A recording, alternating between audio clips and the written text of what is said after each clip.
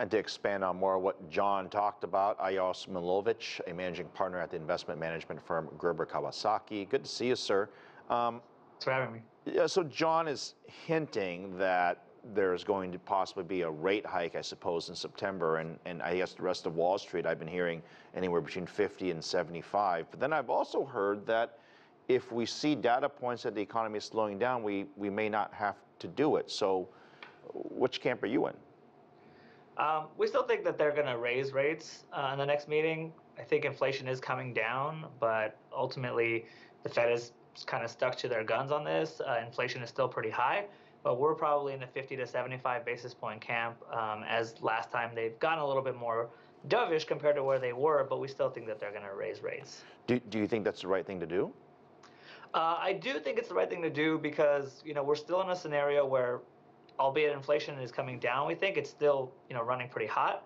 So making sure that people don't have free money and you know slowing the economy down somewhat is still important. But I think we're getting to the point where we're we're sort of coming to equilibrium really soon. And I think the next rate hike is it still prudent, and then kind of wait and see after that. Right, and then of course you hear about the let's wait to see to what what the data says, and I'll give you some data we've seen a, uh, a, significant increase in the number of houses that have price reductions. We've mm-hmm. seen a significant increase in U.S. home mortgage rates, you know, the, 50, the 15 and really the, the 30 year and the jumbos as well.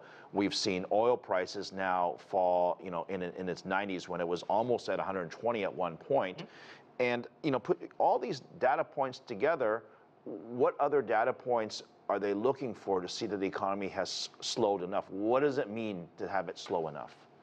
Yeah, I think it's hard to tell because we are in this kind of weird dichotomy. Uh, we're, we've never been in a situation where jobs were at an all-time, you know, good versus inflation running rampant versus uh, risks of a recession looming at the same time. So I think the Fed is kind of in uncharted territories uh, right now. But I think the reduction in inflationary rates from here is a good place to start. From here on out, I think they're just looking for probably the month over month. You know, as we said in the in the last month, it was still over one percent.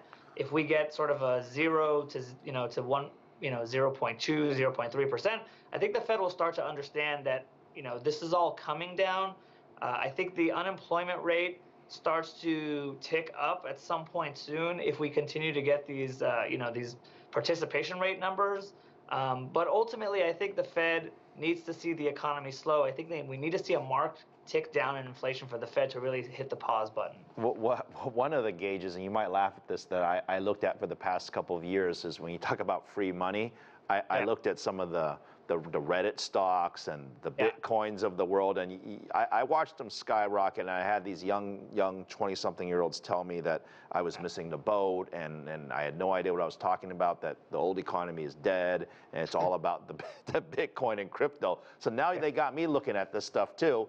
But I noticed, I noticed that it, it did dip down and recently it's gone back up again. So yeah. is the free money, is that the free money gauge?